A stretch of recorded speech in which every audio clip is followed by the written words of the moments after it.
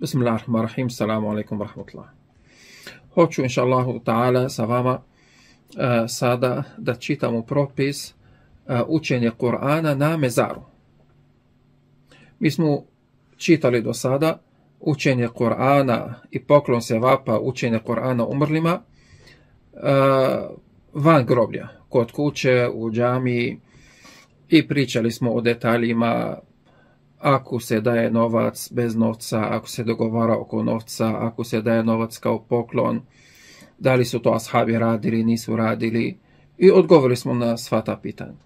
Ali sada hoćemo da vidimo šta je uh, propis čitanja Korana na mezaru.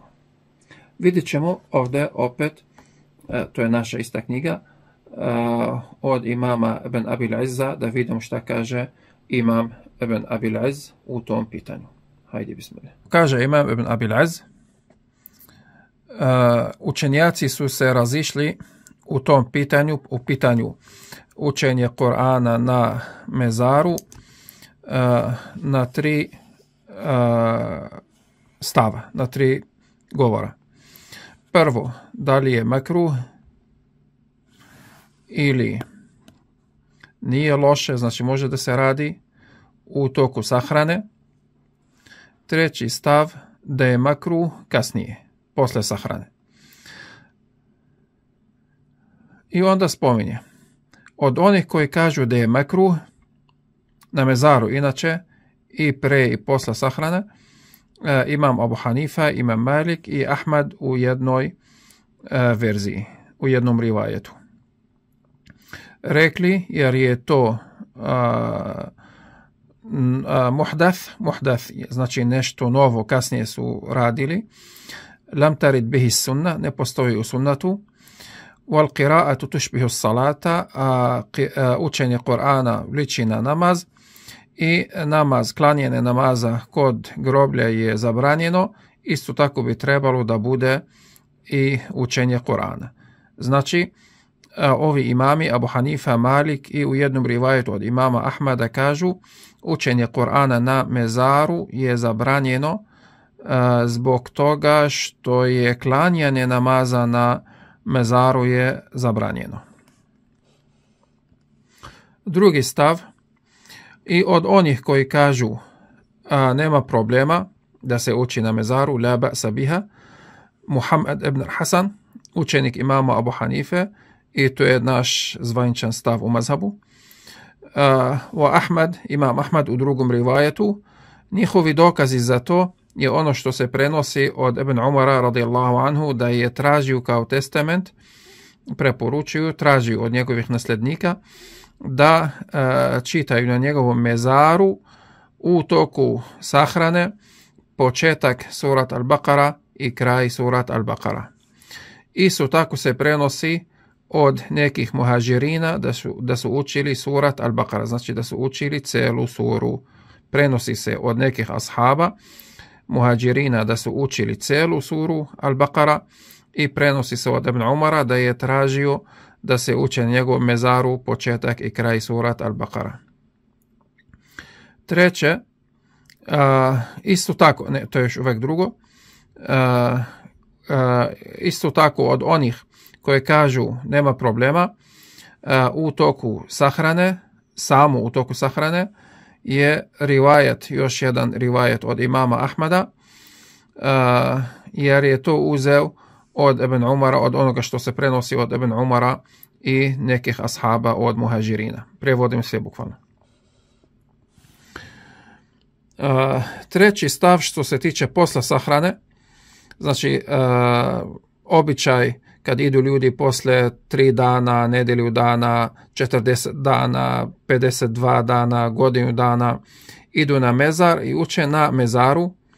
Uh, I ovdje kaže, posle toga, kao što su oni koji uh, poredom, znači uh, menjaju se kod mezara da uče, to je makruh, jer to ne postoji u sunnatu, niti postoji da se prenosi od bilo koga od salafa da je radio to ili nešto slično uopšte.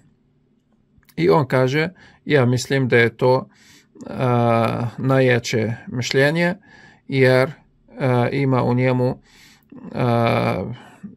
metoda spajanje između oba argumenta. Dakle, mnogo je jednostavno. Ako hoće neko da čita, da uči, ima od učenjaka koji kaže može da se uči na mezaru. Ko neće da uči na mezaru, ima od učenjaka koji kaže nema učenja na mezaru. Imami kao što je Abu Hanifa, Muhammad, Ahmad, Ibn Hanbal, Imam Malik i ostali, nisu imali konačno rješenje. I nisu rešili to pitanje. I nisu onako isekli da mora da se uči ili ne može nikako da se uči. Nego je a, razilaženje među njima da li je dozvoljeno ili je mekruh. I ovi imaju argumente, čak nema argumente, nije spomenuo argumente oni koji zabranjuju, već je spomenuo samo argumente onih koji dozvoljavaju. I preno, da se prenosi od nekih ashaba da su učili surat Bakara na mezaru, prenosi se od Eben Umara da je tražio da mu se uči surat, početak i kraj surat Al-Bakara. I onda razileženje, da li to samo u toku sahrane dok se vodi džanaza, a posle ne može od onih običaja što mi imamo posle nedjelju dana, deset dana, hiljadu godina. Ili e, može samo pre sahrane, ili samo u toku sahrane. Znači, ovo pitanje kroz e, znači, čitanje e, tih stavova vidjet ćemo da je najoštriji govor među njima, kaže da je makruh. Šta znači makruh? Makruh znači ako radiš ako radiš makruh, nemaš greha. I to je to. Znači nije pitanje farz i haram, nego pitanje da li je džaiz ili makruh. ako je džaiz, da li je džaiz pre, ako je dozvoljeno, znači da li je dozvoljeno samo pre sahrane, u toku sahrane, ili može i posle. Ono što mi radimo u toku sahrane posle 5 minuta, to se računa u toku sahrane, jer to je isti događaj. Posle sahrane misli na posle kasnije. Toliko u tome. Niti ima među njima psovke, niti optužbe za novotare, a, niti napad, ni ništa. Imamo argumente da su neki učili od ashaba. To što su učili od ashaba na mezaru, to znači da ne može nikako da bude učenje na mezaru haram. To što se prenosi da su učili na mezaru, ako je slabo, onda uh, učenje na mezaru je makruh. Ako nije slabo, onda je učenje na mezaru halal, džaiz. U svakom slučaju, uh, Koran mora da se uči u čistom mestu. Mora da se uči u kući ili u džamiji ili u uh, čistoj zemlji. Koran se poštuje jer je to Allahov govor. A među mezarima gdje je prljevo, gdje su kosti, gdje je svašta nešto, Koran nije za ta mjesta.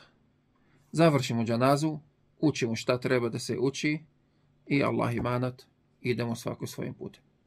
Mada, i ako hoćemo da učimo, posle godinu dana, je idem, na primjer, sada u neko groblje, posle mjesec dana, dva mjeseca, sedim iznad mezara nekoga i čitam, nema problema. Ima od učenjaka koji kaže da je dozvoljeno. I nismo nigde, nismo nigde izašli iz okvira četiri mazhaba, ni ako kažemo dozvoljeno, niti ako kažemo um, mekruh. Nema zabranjeno, nego makruh. Znači nema haram. Ovdje zabrana se odnosi na mekruh. Nije stroga zabrana za haram, nego zabrana za mekruh. Čitali smo stavove i to je to. Tako da onaj ko hoće da uči na mezaru može ima od učenjaka stavova koje dozvoljavaju i to je naš stav u mezabu To je rekao imam Muhammed i imam Ahmed ibn Hanbal. Ko neće, ne mora, nek uči kod kuće. I čitali smo da može, da se pokloni sevap. Ko neće ni to da radi svojim roditeljima, šta da mu radim? Ja, na primjer, da mi neko kaže ti imaš umrlu majku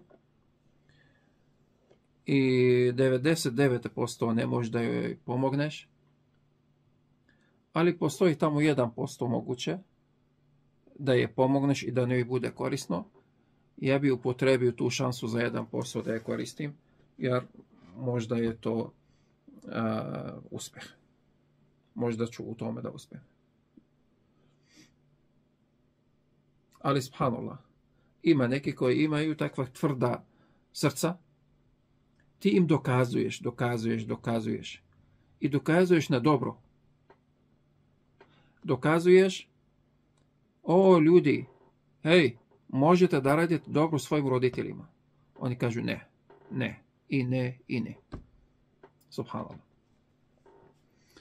Molim Allah subhanahu wa ta'ala da nam daje dobru decu, da misle na nas, da uče na nas, da dove za nas posle smrti, da daju sadaku, da nam poklone sevap sadaka i sevap hađa i sevap učenja Korana i sevap umre i sevap dove i e, sevap bilo koji sevap, samo da nas spomenju u, u sevapima, u nijetima, u namerama za dobra dela, inša Allah imat ćemo korist.